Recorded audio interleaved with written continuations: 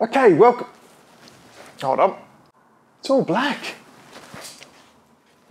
That's better. We finally got a blackout fully sorted again. Oh my God, it's like bliss. It's beautiful in here now. We can get some decent lighting put up. And in that respect, we've got a shoot this morning that I'm going to do in here, which required this. We put off for a little bit. So we got some metal uh, springs that we've got a photograph. We've bought some special, um, hmm, what they're called? Bought some metal, anyway, sheets of metal that we're going to shape and do different things, have different lights through. But we're also going to do video with it as well. So hence needing the blackout because actually we want to capture that. And we could have probably bodged around with it, but it's real pain in the backside. So this will be a lot easier. So let's go and set this up and see how we go.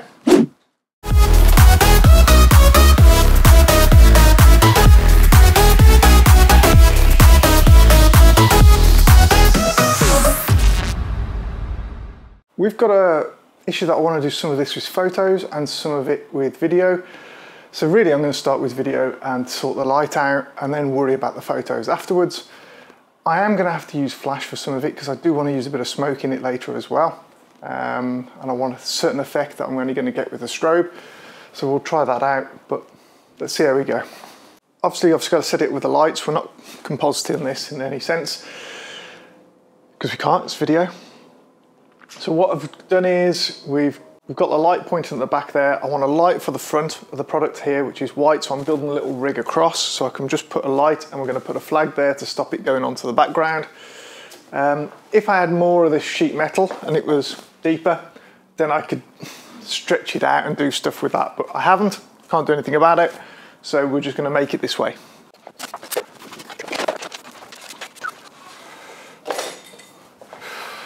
Okay a little rig across there.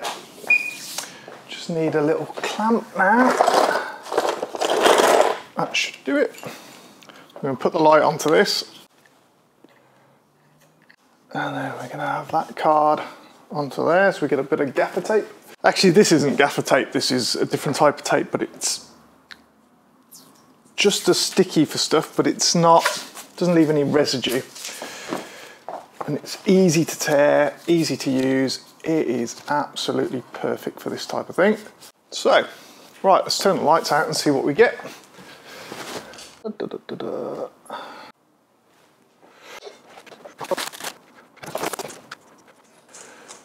okay, so what I'm doing is just positioning that flag at the moment so that it doesn't go onto the product at the front, but it's enough just to light the background.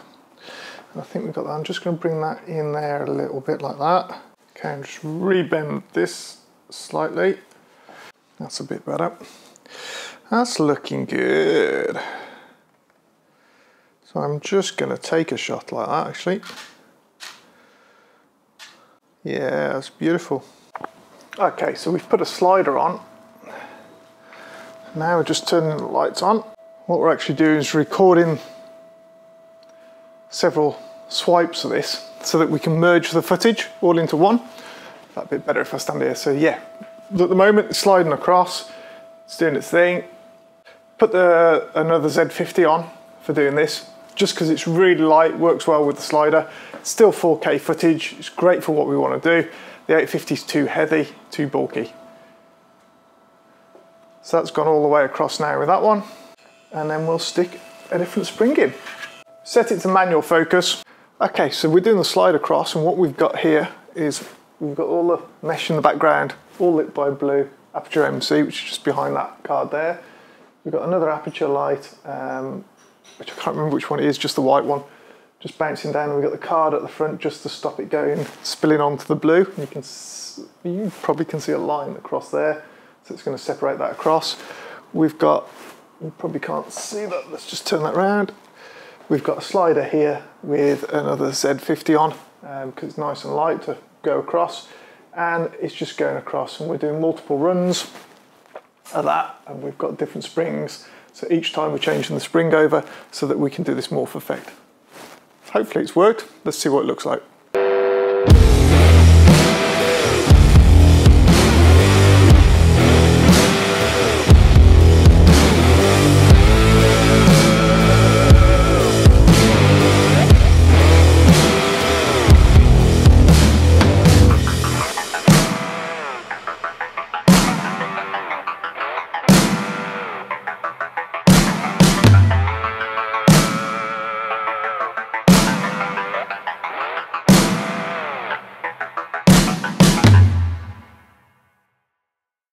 Okay, for this shot now, so we've reset all this, we've actually gone and brought in, let's go around here.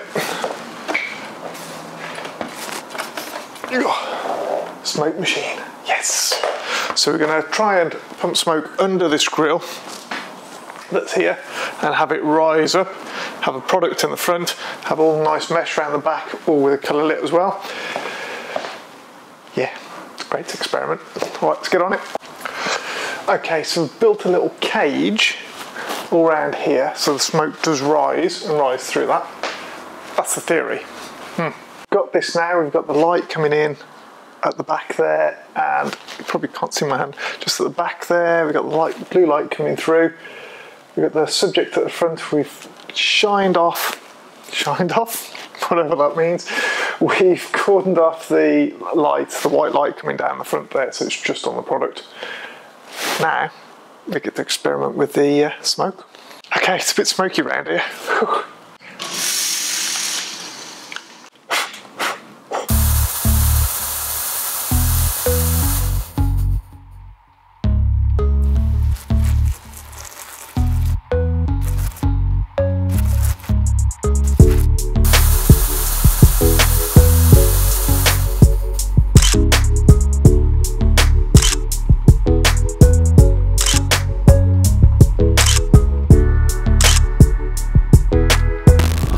so using the smoke, we have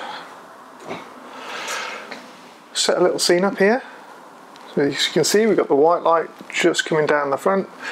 We've got the blue light on the GorillaPod there, just coming down there. But that's what we're getting onto the screen.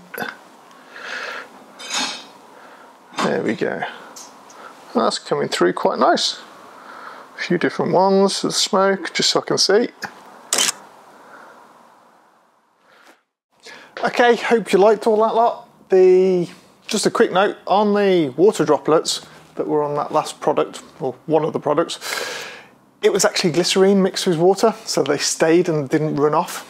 Um, it's a little tip, get a little bottle of glycerine, put a little bit in, so sort of 50-50, with your water sprayed on, won't go. Your water droplets stay there all perfectly. Um, but yeah, use that quite often. So that's it, so all this lot now, it's got to be packed away. It's the worst bit of the shoot. Hope you enjoyed all that. Nice to see that sort of stuff and how we do those sort of things. It's good to have a play. If you have any ideas and suggestions you'd like to see us do, then drop comment down below and we'll see what we can sort out in the studio and what we can get done for you. Like and subscribe to see future stuff. Really appreciate it. It does mean a lot.